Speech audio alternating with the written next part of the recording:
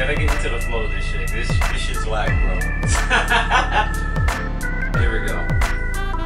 Let's take a dive in the aquatic mine. Once was a cold pit, but now it's a water